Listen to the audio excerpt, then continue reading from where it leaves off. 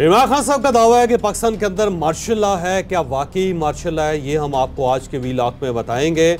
और इमरान खान साहब के सेल की तस्वीरें कैसे लीक हो गई, ये भी आपको इसी वी लॉक में बताया जाएगा। और मुझे कुछ वज्रा आज़म के सेल देखने का इतफाक़ हुआ था। अब उन सेल्स को देख के और उसके बाद इमरान खान साहब के सेल को देख के क्या फीलिंग आती है, ये भी हम आपको आज के वीलाक में बताएँगे। और इमरान खान साहब ने कल भी एफआईए की टीम से मिलने से इनकार कर दिया है। इमरान खान साहब एफआईए की टीम से क्यों नहीं मिल रहे, ये भी हम आपको आज के वीलाक में बताएँगे। लेकिन वीलाक की तरफ़ आने से पहले आप हमारा चैनल सब्सक्राइब ज़रूर कीजिएगा और ये जो बेल आइकान है, उसको ज़रूर प्रेस करें ताकि आपको नोटिफिकेशन आता रहे। और ये वो स्पोर्ट है जो आप हमारी कर सकते हैं। वालेकुम नाजरीन, मैं हूँ फ़रुख अब्बास, न्यूट्रल बाय जावेद चौधरी में। चौधरी साहब से आपने टॉप स्टोरीज सुनी आज की, इन्हीं स्टोरीज़ पे हम डिस्कस करेंगे। बहुत इंपॉर्टेंट पॉइंट्स हैं, इन्हें मिस मत कीजिएगा, यकीनन आपके नॉलेज में आज बहुत ज़्यादा इजाफा होने जा रहा है। चौधरी साहब, आपका शुक्रिया, आपने ये हमें तमाम स्टोरीज़ बताई। हम पहले सवाल की तरफ़ आते हैं। चौधरी साहब, हम आपसे ये पूछना चाहते हैं कि क्या मार्शल्ला की सूरत हाल है वाकई ही मुल्क में? और जजेस जिस तरह के बयान दे रहे हैं, इमरान खान साहब के बारे में, वो बयान देख के कुछ अजीब सी फीलिंग आती है, जैसे जजेस को तो बहुत मोहब्बत होगी इमरान खान साहब के साथ। अब माशाल्लाह पता नहीं इमरान खान साहब किस चीज़ को कह रहे हैं क्योंकि जितनी आज़ादी इस वक्त है आ, मैंने देखा कि इमरान खान साहब के दौर में इतनी आज़ादी थी। अब आप देखें कि उस वक्त एक कर्नल लियाकत थे और रिटायर्ड कर्नल थे। वो नहीं है कि कोई रेगुलर कर्नल थे या हाजत सर्विस कर्नल थे। वो रिटायर्ड थे लेकिन वो जनरल फैज़ हमीद साहब के बैचमेट थे उनके दोस्त थे। तो जनरल फैज़ हमीद साहब ने उन्हें ज़िम्मेदारी दी पार्लियामेंट को चलाने की। तो कर्नल लियाकत जो थे वो पार्लियामेंट के अंदर बैठते थे। और वो गवर्नमेंट के तमाम एम और सेनेटर्स को भी डील करते थे और अपोजिशन के सेनेटर्स और एम को भी डील करते थे। बल्कि जब इमरान खान साहब के ख़िलाफ़ अदम अतमाद आया तो उस वक्त तक फ़ौज ज़ाहिर नाराज़ हो चुकी थी इमरान खान साहब से और फासले बढ़ गए थे। और जनरल बाजवा ने इमरान खान साहब से साफ़ कह दिया था कि अब हम आपकी मदद नहीं कर सकते। लेकिन जब उन्होंने अचानक कॉन्फिडेंस का वोट लेने का ऐलान किया तो फ़ौज के हाथ पाँव फूल गए। उसकी वजह यह थी कि उस वक्त तक अमेरिका अफ़गानिस्तान से निकल रहा था। और वहाँ पर फ़ौज बहुत ज़्यादा अंगेज थी। और अफवाज पाकिस्तान नहीं चाहती थी कि पाकिस्तान के अंदर कोई ऐसा क्राइसिस पैदा हो जाए जिसकी वजह से वहाँ पे उन्हें अफ़गानिस्तान में प्रॉब्लम्स फेस करनी पड़े। तो फौरी तौर पे इमरान खान साहब ने उनको बुलाया और जनरल बाजवा और जनरल फैज़ मीर साहब दोनों गए उनके पास। और इमरान खान साहब ने कहा, जी कि मैंने तो अब अतमाद का वोट लेना है। अब आपकी ज़िम्मेदारी है कि आप मुझे अतमाद का वोट दिलवाएँ। और उस वक्त तक सारी जो सियासी जमातें जो इमरान खान साहब के साथ थीं, वो सारी इनके इनसे नाराज़ हो चुकी थी। एम क्यू एम इनसे नाराज़ थी। कॉफ लीग इनसे नाराज़ हो चुकी थी और इसके साथ साथ बहुत सारे आज़ाद लोग जो थे वो इमरान खान साहब से नाराज़ थे अख्तर मैंगल साहब ना, नाराज़ थे शाहजैन बुख्टी साहब इनसे नाराज़ थे और इसके साथ साथ उनकी अपनी पार्टी के अंदर बहुत स्प्रिट थे। पंजाब के अंदर तो एक बहुत बड़ा ग्रुप था बयालीस एम का जो उस्मान बुजदार साहब के साथ चलने के लिए तैयार नहीं था। और उस वक्त पे general Bajwa general Faiz Hameed active हुए और बकौल जनरल बाजवा साहब के जो उन्होंने मुझे बताया कि उस दिन हम 48 घंटे सोए ने और जाके हम सबने उस सारे मामले को देखा और हमने पूरी तरह अरेंज किया कि इमरान खान साहब को अतमाद का वोट मिल जाए। और उसमें ऐसे ऐसे लोगों को लाया गया जिन्होंने साफ़ इनकार कर दिया था कि हम इमरान खान साहब को वोट नहीं देंगे। इवन बीबी भरवाना जो है, बीबी साहब भरवाना उनको भी बड़ी मुश्किल से लाया गया था वो राज़ी नहीं थी और बल्कि गले पड़ गई जो लोग उनके पास गए। फिर चौधरी शुजा साहब के जो साहबजादे हैं, और इस वक्त भी वो मिनिस्टर हैं वो, चौधरी सालक साहब, वो उस वक्त एमएनए थे, और उन्होंने फैसला कर लिया था कि मैंने इमरान खान साहब को वोट नहीं देना, बल्कि चौधरी शुजा साहब तो टोटल नाराज़ थे इमरान खान साहब के साथ। और चौधरी शुजा साहब उस वक्त ठीक ठाक अलील थे, लाहौर के अंदर थे, एक हॉस्पिटल के अंदर थे, और उनके साहबजादे चौधरी सालक साहब, उनको रोज़ाना खाना खिलाने के लिए जाते थे, और उनको स्पून फीडिंग की जाती थी। तो चौबीस साल साल ने मुझे ये बताया कि मैं उनकी स्पूड फीडिंग कर रहा था, उनको बाकायदा हाथ से चम्मच के साथ खाना खिला रहा था। और उस वक्त फिर एक कर्नल साहब मेरे पास आए और उन्होंने एक गुलदस्ता उठाया हुआ था। गुलदस्ता उन्होंने मुझे पेश किया, फिर चौधरी साहब की तबीयत पूछी कि कैसे हैं चौधरी साहब? फिर चौधरी साहब को मैंने दिखाया कि तबीयत उनकी ज़्यादा ठीक नहीं है। तो कर्नल साहब ने सब कुछ करने के बाद, पुरसा लेने के बाद उनसे कहा कि चौधरी साहब, यानी उनके साहबजादे जो उनसे, सालक साहब से कि बहरहाल मुझे पता है चौधरी साहब की तबीयत ठीक नहीं है लेकिन आपने सुबह इमरान खान साहब को वोट देने के लिए ज़रूर जाना। तो चौधरी सालक साहब ने उनसे पूछा कन्ना साहब ये आ, मेरी अपनी इंडिपेंडेंस है मैंने खुद फैसला करना है या फिर ये आर्डर है? तो उस पर उन्होंने कहा जी मैं आर्डर तो आपको नहीं दे सकता लेकिन आप इसे आर्डर ही समझें तो आपने बहरहाल जाना है। तो उसके बाद सालिक साहब ने बताया मुझे कि सुबह के वक्त दोबारा कन्न साहब का फ़ोन आया। और मैं मोटरवे पे गाड़ी चलाता रहा, सारा रास्ता वो मुझे पूछते रहे और जब तक मैं पार्लियामेंट की बिल्डिंग के अंदर नहीं पहुँचा, उस वक्त तक वो मसलसल मेरे रबते में थे। और जो ही मैं पार्लियामेंट की बिल्डिंग के अंदर दाखिल हुआ तो एक दूसरे साहब ने फिर मुझे कंट्रोल कर लिया और उन्होंने कहा कि आए जी, आपका वोट आज होना है। इसी तरह बीबी साहब भरवाना साहिबा जो हैं उनको लाया गया और जब उनको लाया गया तो वो बहुत ज़्यादा नाराज़ थे। लेकिन उनको बाकायदा आप ये समझें कि हाईजैक करके या गाड़ी में बिठा के अगवा करके उनको यहाँ तक पहुँचाया गया था।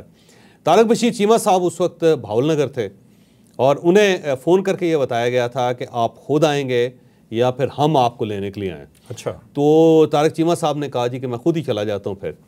तो तारक चीमा साहब आए और आने के बाद वो मियाँ शबाशी साहब से मिले कौमी असम्बली में और उनके सामने बैठ के उन्होंने कहा जी कि मुझे उन्होंने ऑर्डर दिया था कि आप खुद आएँगे या फिर आपको लेने के लिए आए तो मैंने कहा, जी, मैं खुद ही आ जाता हूँ। तो मैं आपको अपनी मजबूरी बता रहा हूँ। फिर लियाकत हुसैन जो डॉक्टर अमर लियाकत हुसैन, आप हमारे कुलीग भी थे, उन्होंने खुद पार्लियामेंट के सामने कहा कि मैं आया नहीं हूँ, मुझे लाया गया फिर एम के एम के जो लोग थे, उन सब के घरों में अफवाज पाकिस्तान के लोग गए थे और उन सबको पैक करके यहाँ पे लाया गया था। बल्कि बड़ी दिलचस्प बात है कि उस वक्त पाकिस्तान तहरीक इंसाफ के बहुत सारे लोग नाराज़ थे, इमरान खान साहब से। उन सबको उठा के कंटेनर्स के अंदर रखा गया था। अच्छा। बाकायदा कंटेनर्स के अंदर रख के बाहर से लाक लगा दिया गया था और उनको खाना जो था वो बाकायदा ट्रे के साथ अंदर पहुँचाया जाता था और अंदर वाशरूम थे छोटे से और उनके अंदर रहे। और जिस दिन ये वोटिंग थी उस दिन उनको निकाल के वहाँ पहुँचाया गया कहा जी वोट आपने देना है वोट पूरे होने चाहिए। बहर वो 48 घंटे जनरल फैज़ उम्मीद और जनरल बाजवा और बाकी जो उनके कुलीग थे वो सारे जागते रहे। और उस वक्त उन्होंने इमरान खान साहब के इस तरह वोट पूरे किए। अब सवाल ये है कि अगर कर्नल लियाकत साहब कौमी असम्बली चलाएँ, या एतमाद के वोट वोट के लिए बाकायदा पूरी अफवाज पाकिस्तान इस्तेमाल हो, और उसके बाद इमरान खान साहब के वोट पूरे किए जाएँ तो उस वक्त मार्शल नहीं था। उस वक्त फ्रीडम थे, और उस वक्त हर चीज़ खुली थी। मतलब टेलीविज़न चैनल्स के ऊपर चलता चलता प्रोग्राम ऑफ़ हो जाता तो उसके अंदर तो तीन चार हमारे कोलीग्स हैं जिनको ऑफ़ एयर कर दिया गया था और ऑफ़ एयर बाकायदा उनको फ़ोन करके बता के किया था कि जनाब हमने किया आपको। मसल तलत हुसैन साहब थे, वो उस वक्त जियो के अंदर काम करते थे और उस वक्त जनरल आसफ गफूर साहब D G I S R थे। उन्होंने बाकायदा जियो को फ़ोन करके कहा कि आप इसको आइंदा नहीं लेंगे और इसको फ़ारग करेंगे और उसको बताएँ कि हमने उनको फ़ारग करवाया। और ये उस वक्त की, उस वक्त की बात है। अच्छा उसके बाद फिर बहुत सारे लोगों के इंटरव्यूज़ नहीं चले। जैसे कि नदीम मलिक साहब ने इंटरव्यू किया था मरीम नवाज़ का, और वो आफेयर हो गया था, वो नहीं चला। अच्छा इसके साथ साथ बहुत सारे ऐसे वाक़ात हैं उस दौर में कि चैनल्स के ऊपर चलती हुई चीज़ गायब हो जाती थी एंकर गायब कर दिए जाते थे उस वक्त। फिर बहुत सारे हमारे कोलीग्स हैं, उनको गिरफ़्तार कर लिया गया था। अब सार आलम को गोली मार दी गई थी। फिर असतूर के साथ जो कुछ हुआ वो सारी दुनिया ने देखा। फिर मतीउल्ला जान को उसको अगवा कर लिया गया। और जनरल बाजा साहब ने मुझे बताया कि मुझे नहीं पता था कि मतीउल्ला जान को गिरफ़्तार किया गया। उसे मैंने छुड़वाया था। जनरल बाजा साहब ने अच्छा। बताया कि उन्होंने इंटरवेंशन करके बाकायदा फिर गिरफ़्तार किसने किया था? गिरफ़्तार ज़ाहिर है उसी वक्त मार्शल तो नहीं था उस वक्त ना? ठीक है जो भी था। मेरा ख्याल सिविल अथॉरिटीज़ ने किया होगा। मार्शल तो था नहीं उस वक्त। तो ये सारी जो सूरत है वो आपके सामने है कि प्राइम मिनिस्टर हाउस कौन चला रहा था? कौमी असम्बली और सेनेट कौन चला रहा था? गवर्नमेंट्स कौन चलाया चला रहा था? मीडिया को कौन हैंडल कर रहा था? लेकिन ये बात इमरान खान साहब की दुरुस्त है कि उसको मार्शल नहीं था। मार्शल मार्शल अब है कि जिसके अंदर है पाकिस्तान तहरीक इंसाफ के तमाम लोगों को तमाम टेलीविज़न चैनल्स पर लिया जाता है। और पाकिस्तान तहरीक इंसाफ खुद फैसला करती है कि हमने किसका बाइकाट करना है। यानी इस वक्त राउफ असर साहब ने बाकायदा बाइकाट करवा रखा है बहुत सारे चैनल्स का और एंकर्स का, और उन्होंने किसी से कोई डायरेक्शन ले ली, कोई उसके पीछे नहीं है। सिर्फ़ ये एक फेवरेटिज़म है कि जो एंकर है या जो चैनल है वो रऊफ़ हसन साहब के साथ को अगर फेवर कर देता है या उनको सोलो ले लेता है तो वो एंकर ठीक है और वो चैनल भी ठीक है। और बाकी जो पुराने उनके वकला हैं, जो मुश्किल वक्त में इनके साथ आए जिन्होंने बाकायदा कुर्बानी दी जिसमें सारी पार्टी गायब थे, इवन राउफ हसन साहब भी गायब थे और बाकी सब लोग भी गायब थे। और उनको पता करें जी, वो कोई इधर छुप रहा है, कोई उधर छुप रहा है, कोई मुल्क से बाहर गायब हुआ हुआ है। और जेर ज़मीन थे और ना किसी एंकर से मिलते थे, ना किसी टेलीविज़न चैनल पर जाके इमरान खान को सपोर्ट करते थे। उस वक्त ये वकला थे। उस वक्त शुएब शहीन थे, उस वक्त नईम हैदर पंचोता थे, उस वक्त अज़हर सदीक थे, या फिर अहमद अवैस साहब थे और उस वक्त गौर खान थे।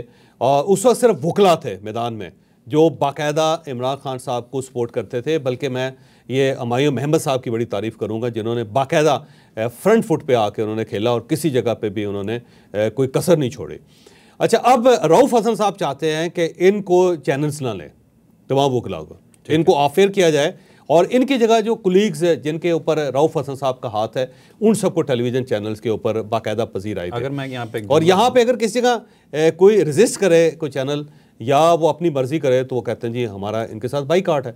तो अब ज़ाहिर मार्शल इस वक्त है फिर। मार्शल अगर इसको कहते हैं कि रऊफ़ हसन साहब जो हैं वो चीफ मार्शल एडमिनिस्ट्रेटर हैं और सारे फैसले उन्होंने करने हैं पार्टी के तो फिर तो मार्शल है। फिर इमरान खान साहब दुरुस्त बात कर रहे हैं सर अच्छा इस वक्त पीटीआई के तमाम लोगों को तमाम चैनल्स के ऊपर लिया जाता है। ठीक है। इमरान खान साहब का नाम पैमरा के नोटिफिकेशन के बावजूद के आप इमरान खान का नाम नहीं ले सकते इमरान खान साहब का नाम लिया जाता आप लेते हैं। और उसके बाद ये है कि इमरान खान साहब जेल के अंदर बैठ के मीडिया से खिताब करते हैं।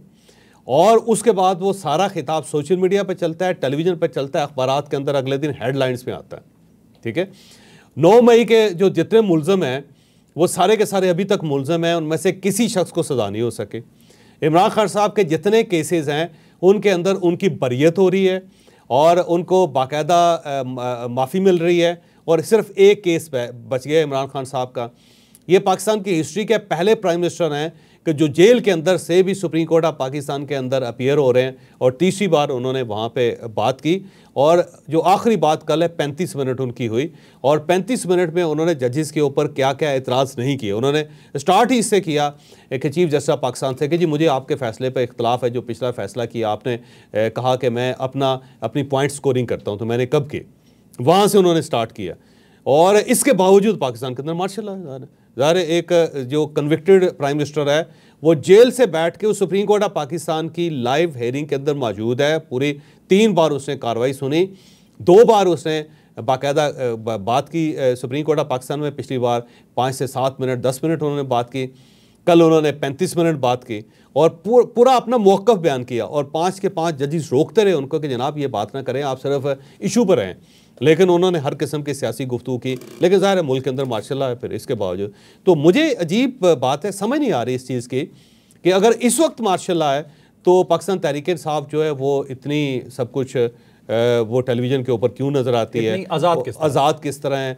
और उनको इतनी फेवर कैसे मिल रही है? फिर खैबर पख्तूनख्वा के अंदर उनकी गवर्नमेंट कैसे बन गई है? फिर उनका अपोजिशन लीडर क्यों है? फिर वो हर जगह पे गुफ्तु कर रहे हैं और हर किस्म की गुफ्तु कर रहे हैं और उनको कोई रोक नहीं रहा। इवन इमरान खान साहब जेल के अंदर बैठ के वो ट्वीट कर रहे हैं, गद्दार को उनका ट्वीट चल रही है, फिर उनकी एक वीडियो चल रही है, वो वीडियो उतार भी नहीं रही, लेकिन इसके बावजूद पाकिस्तान के अंदर मार्शल है मुझे समझ नहीं आ रही वैसे कैसा मार्शल आई अब नेक्स्ट क्वेश्चन बहुत इंपॉर्टेंट है। इमरान खान साहब की तस्वीरें लीक हो गई। लीक से मुराद उनके सेल की तस्वीरें उनकी लीक हो गई। और उनकी तस्वीरों में क्या देखा गया और उसका एक तकबली जायजा कि जो बाकी लीडरान हमारे जेल में रहे, उन्होंने कैसी जेलें काटी, उनके किस तरह के सेल थे? चौधरी साहब ने वो सेल बजाते खुद देखे हुए हैं तो उनसे मालूम करते हैं। देखिए इमरान खान साहब के ये क्लेम कर रहे हैं कि जी मुझे डेथ सेल में रखा गया है तो मैंने नहीं देखा कि किसी सेल के अंदर इतनी फैसिलिटीज़ हों जो, जैसे डेथ सेल भी कहा जाए। तो उससे पहले मियाँ नवाज़ शरीफ का जो सेल था, उसके अंदर प्लास्टिक की कुर्सी थी प्लास्टिक का टेबल था, और एक ही कुर्सी थी। जब डॉक्टर उनसे मिलने के लिए आता था तो जो मियाँ नवाज़ शरीफ साहब थे, वो खड़े हो जाते थे और डॉक्टर साहब को कुर्सी पे बैठाते, डॉक्टर कहता था, मैं, ये मुमकिन नहीं हो। कहता था, नहीं, यहाँ पे एक ही कुर्सी आप बैठेंगे और मैं चार पई पे बैठूँगा। और वो चार पई पे बैठ के डॉक्टर को उस कुर्सी पे बिठा के अपना मुआयना करवाते थे। वहाँ पे दूसरी कुर्सी नहीं रखी गई थी कि कहीं उनके सामने कोई शख्स बैठ ना जाए। और प्लास्टिक का उनका एक होता था टेबल, जिसके ऊपर ही वो खाना खाते थे। फिर इसके अलावा ये था कि एसी नहीं था उनके पास। एसी बाद में लगा और एसी डॉक्टर की एडवाइस पे लगा कि ये हार्ट के पेशेंट है और डिहाइड्रेशन हो रही है। ये ना हो इनके साथ कुछ हो जाए। तो फिर एसी लगाया गया उनके कमरे में, उससे पहले तो गर्मी में।